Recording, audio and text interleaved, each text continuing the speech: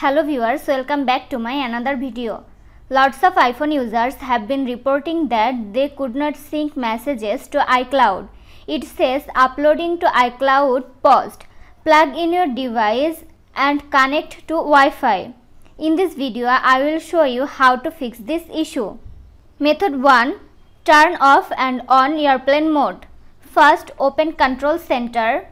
Turn on airplane mode wait for few seconds and turn it off. Method 2 restart your iPhone. To do this open settings tab,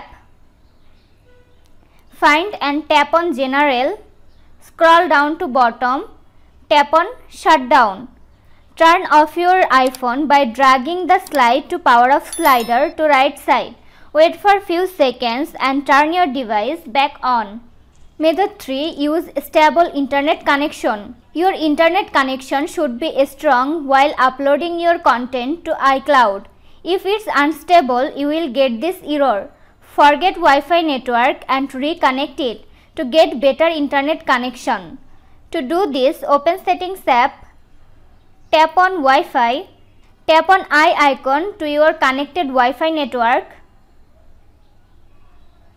tap on Forget this network. Next, a pop-up will appear to whether you confirm this action or not. Tap on confirm then reconnect your Wi-Fi network. Method 4. Plug your iPhone to charging cable.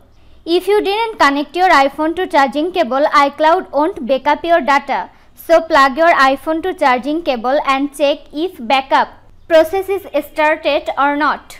Method 5. Turn off low power mode. To do this, open settings app, find and tap on battery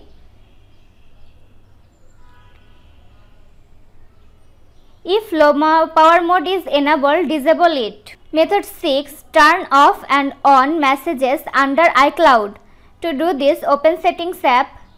Next, tap on your Apple ID name. Tap on iCloud.